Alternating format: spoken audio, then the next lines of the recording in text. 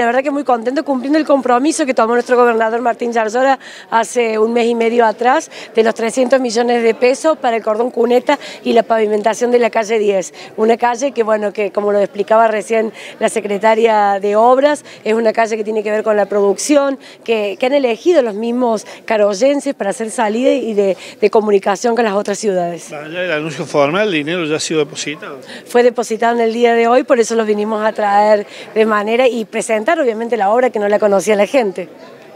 Hubo en el final un anuncio también importante, ¿no? El tema de la planta de tratamiento de cloacas que ya eh, tendría fecha de, entrega de obra. Sí, nos decía Paola justamente que calculan que en 60 días va a estar finalizada, así que seguro vamos a estar inaugurando y bueno, ya empezando a hablar y pensar el proyecto de para después llevar la red domiciliaria de las cloacas, ¿no? No podemos hacer la red domiciliaria si no tenemos las cloacas, así que bueno, vamos paso a paso, pero trabajando en ese proyecto. Eh, vicegobernadora, digo, no pudo evitar en el discurso por allí mm, su sensación respecto a lo que está ocurriendo a nivel nacional con la provincia de Córdoba y los fondos, ¿no?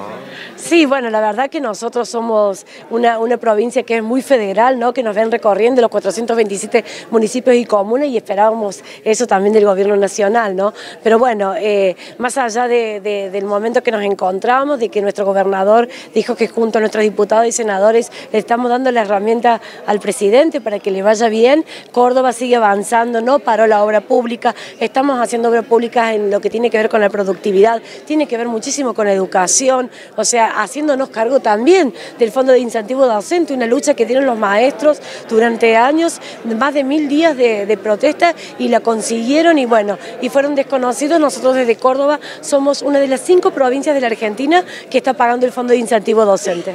Este martes eh, los docentes hacen paro, ¿no se pudo llegar a un acuerdo acuerdo?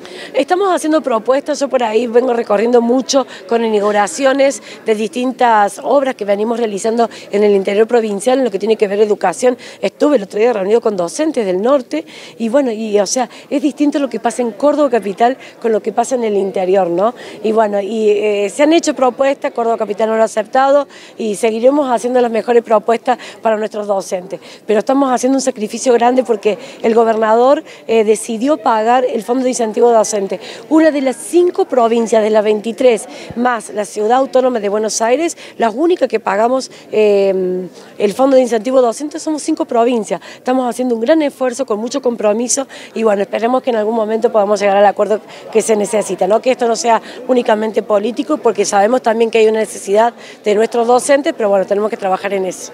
Un tema que es preocupante para los municipios de comuna tiene que ver con la coparticipación. Están pidiendo que se actualice. ¿Es eh, factible que este eh, pedido de informe eh, avance en la legislatura? Digo, ¿es importante esto? Seguro que vamos a acompañar, o sea, pues nosotros también estamos pidiendo al gobierno nacional, al INDEC, que nos dé la información, ¿no? Los datos preliminares no sirven de nada, nosotros tenemos por departamento la cantidad de habitantes y no tenemos por localidad.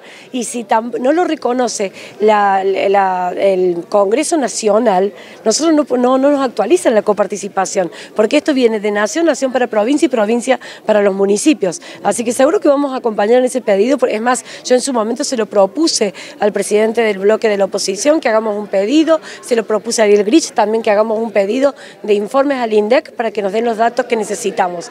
Pero no, no depende del gobierno provincial, sino que depende del gobierno nacional.